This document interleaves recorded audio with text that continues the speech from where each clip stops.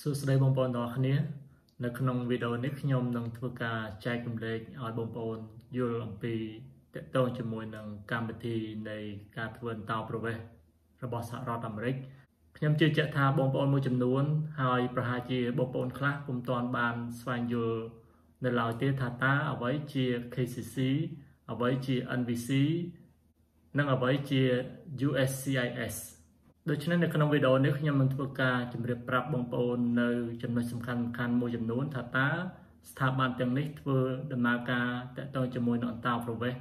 គឺមានតំណែងគ្នាយ៉ាងដូចម្ដេចហើយថាតើ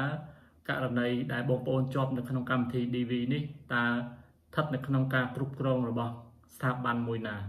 KCC គឺជាស្ថាប័នមួយដែលគ្រប់គ្រងដោយ US Department of State ក្រសួងការបរទេសរបស់សហរដ្ឋអាមេរិក ដែលមានទីតាំងនៅ Kentucky នៃសហរដ្ឋអាមេរិកនេះហើយស្ថាប័ន KCC នេះគឺគ្រប់គ្រងទៅលើកម្មវិធីអន្តោប្រវេសន៍នៃកម្មវិធីឆ្នោតផ្សងសំណាង DV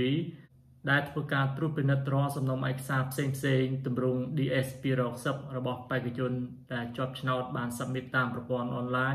នៅពេលដែលគេត្រួតពិនិត្យរួចរាល់ហើយគឺគេនឹងធ្វើការរៀបចំដើម្បីទម្លាក់ schedule សម្ភាសទៅតាមបណ្ដាស្ថានទូតវិញ ហើយជាទូទៅការកំណត់ពេលវេលាសម្ភាសសុំទិដ្ឋាការសម្រាប់អ្នកជាប់នៅក្នុងកម្មវិធីឆ្នោត DV នេះគឺធ្វើឡើងដោយខាង KCC រួចទើបគេបញ្ជូនទៅតាមបណ្ដាស្ថានទូតដែលនៅក្នុងតំបន់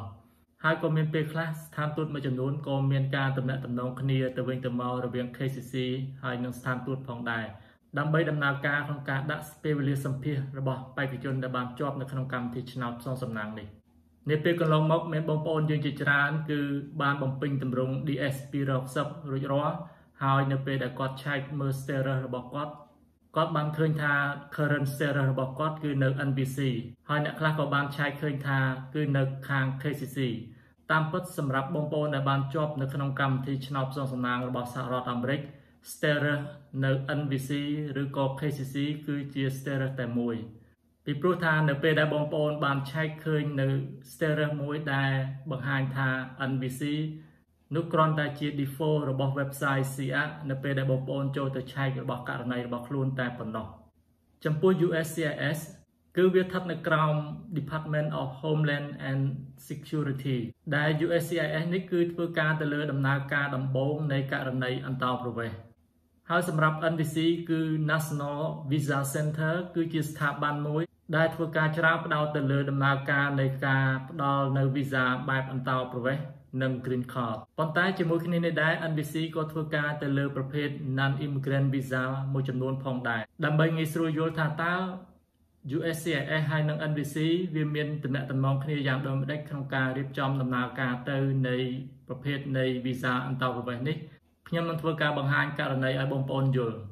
ដូចជានៅពេលដែលបងប្អូនរៀបចំនៅសំណុំឯកសារដើម្បីធានាជាលក្ខណៈគ្រួសារឬក៏ជាលក្ខណៈគូដណ្ដឹងនៅពេលដែល USCIS ធ្វើការសម្រេចទៅលើករណីដែលយើងបានស្នើសុំហើយគឺគេនឹងទម្លាក់ទៅកាន់ខាង Department of State ដើម្បីធ្វើការដំណើរការបន្តហើយគេនឹងធ្វើការជួនដំណឹងយើងអំពីការសម្រេចមួយនេះក្នុងពេលជាមួយគ្នានេះដែរ USCIS នឹងធ្វើការផ្ញើ file ទៅកាន់ខាង NVC ដើម្បីធ្វើការរៀបចំដំណើរការបន្ត ហើយតម្រាំតែ NVC ធ្វើការទទួលបាននៅ file របស់យើងនេះគឺវាអាចនឹងចំណាយពេលមួយខែឬក៏ច្រើនជាងនេះហើយនៅពេលដែល NVC ទទួលបាន file របស់យើងហើយ គឺគេនឹងរៀបចំកំណត់នៅ NVC case number ជូនដល់យើងហើយនឹងគេបានផ្ញើនៅការជូនដំណឹងមកកាន់យើងផងដែររួមជាមួយនឹងការណែនាំអំពីថាអ្វីដែលបងប្អូនត្រូវធ្វើនៅជំហានបន្តទៀតដូច្នេះបងប្អូននឹងអាចមើលឃើញហើយថា NVC និង KCC គឺដំណើរការតាក់ទងជាមួយនឹងប្រភេទនៃអន្តោប្រវេសន៍ដូចគ្នាប៉ុន្តែខាង KCC គឺគេគ្រប់គ្រងទៅលើរាល់ករណីនៃកម្មវិធីឆ្នោត DV នេះក្នុងគណៈពេលដែល NVC គ្រប់គ្រងទៅលើប្រភេទ immigrant ហើយនិង non immigrant ផ្សេងទៀតដែលលើកលែងនៅក្នុងកម្មវិធីឆ្នោត DV នេះចំណុចចុងក្រោយខ្ញុំចង់ឲ្យបងប្អូនបានស្វែងយល់ផងដែរគឺថា នៅក្នុងកម្មវិធីឆ្នោតផ្សងសំណាងរបស់សហរដ្ឋអាមេរិកនេះគឺគេមានចំណុចមួយសំខាន់ដែលបងប្អូនត្រូវដឹងគឺតាក់ទងជាមួយនឹង public charge public charge នៅទីនេះគឺមានន័យថាបងប្អូនដែលបានជាប់នៅក្នុងកម្មវិធីឆ្នោត DV ទាំងអស់គឺនឹងមិនស្ថិតនៅក្រោមបន្ទុករបស់រដ្ឋាភិបាលអាមេរិកនៅពេលទទួលបាននៅវីសាពីស្ថានទូតនោះឡើយដូច្នេះអ្វីដែលបងប្អូនត្រូវធ្វើការបង្ហាញគឺត្រូវឲ្យខាងកុងស៊ុលជឿជាក់ថា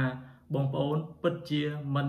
ធ្វើឲ្យរដ្ឋាភិបាលអាមេរិកខ្លាយទៅជាបន្ទុកសម្រាប់បងប្អូននោះទេហើយត្រង់ចំណុចនេះមានបងប្អូនយើង ជាច្រើនគាត់បានធ្វើការសាកសួរតើគួរធ្វើដូចម្ដេចតើតើជាមួយនឹង public charge នេះគឺមានការកំណត់ខុសៗគ្នាពីស្ថានទូតមួយទៅស្ថានទូតមួយ នៅតាមតំបន់ខ្លះគឺគេតម្រូវឲ្យបេក្ខជនធ្វើការបង្ហាញនៅទឹកតាំងមួយចំនួនដែលបង្ហាញថា ខ្លួនពិតជាមានលទ្ធភាពនិងសមត្ថភាពដើម្បីធ្វើការទទួលខុសត្រូវដោយខ្លួនឯងនៅពេលបានទទួលវីសាពីស្ថានទូតមកកាន់សហរដ្ឋអាមេរិកនេះតកតងជាមួយនឹងចំណុចនេះបើផ្អែកទៅលើគេហទំព័ររបស់ USCIS យើងអាចនឹងមើលឃើញថាគេប្រើទម្រង់2ជាទូទៅគឺទម្រង់ I 134ហើយនិង I 864ហើយសំណួរសួរថាតើទម្រង់2នេះគឺគួរប្រើមួយណា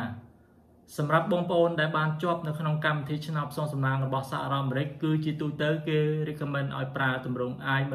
134 ទម្រង់ទាំងពីរនេះគឺជាទម្រង់មួយដែលតម្រូវឲ្យខាងអ្នកដែលរស់នៅសហរដ្ឋអាមេរិកនេះគឺធ្វើការបំពេញដើម្បីជួយ support យើងក្នុងគណៈពេលណាមួយ ដែលយើងបានមកតាំងទីលំនៅថ្មីថ្មីហើយវាមានភាពខុសគ្នារវាងទម្រង់ទាំងពីរនេះទម្រង់ I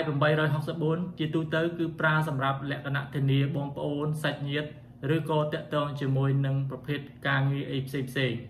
ដូច្នេះសម្រាប់បងប្អូនដែលបានជាប់នៅក្នុងកម្មវិធីឆ្នោត DV គឺត្រូវប្រើទម្រង់ I 134 ដូច្នេះខ្ញុំគិតថាការចែករំលែករបស់ខ្ញុំឲ្យបងប្អូនយល់អំពីតាក់ទងជាមួយនឹងស្ថាប័នក៏ដូចជាការប្រើទម្រង់ដើម្បី support បងប្អូននៅក្នុងកម្មវិធីឆ្នោតផ្សងសំណាងរបស់សហរដ្ឋអាមេរិកនេះ តើដំណើរការធ្វើការយ៉ាងដូចម្ដេចជាមួយនឹងការបំពេញទម្រង់បែបធានា I134 ឬក៏ I864 នេះថាតើយើងគួរតែជ្រើសរើសយកមួយណាខ្ញុំសង្ឃឹមថាបងប្អូនបានយល់ហើយជាថ្មីម្ដងទៀតសម្រាប់បងប្អូនដែលជាប់នៅក្នុងកម្មវិធីឆ្នោតផ្សងសំណាង2022អ្វីដែលខ្ញុំចង់ផ្ដាំគឺថាបងប្អូនបំពេញនៅក្នុងទម្រង់ DS2 រកសពនេះគឺមិនមានការបរិច្ឆេទកំណត់ពេលវេលានោះទេបងប្អូនត្រូវតែមានលិខិតឆ្លងដែនឲ្យបានរួចរាល់ រួមទាំងកូនផងដែរប្រសិនបើបងប្អូនបានជាប់ជាលក្ខណៈគ្រួសារហើយធ្វើយ៉ាងណាបំពេញទម្រង់នេះឲ្យបានត្រឹមត្រូវជាទីបំផុតដើម្បីជៀសវាងនៅកំហុសណាមួយដែលបងប្អូនអាចនឹងធ្វើការពិបាកកាយនៅពេលក្រោយហើយប្រសិនបើបងប្អូនត្រូវការជំនួយទាក់ទងជាមួយនឹងការបំពេញទម្រង់ DSP Rock Sub បងប្អូនអាចធ្វើការទំនាក់ទំនងមកកាន់ទំព័រ DVKH បាន នៅពេលនេះសូមអរគុណសូមជម្រាបលាសំណាងល្អទាំងអស់គ្នា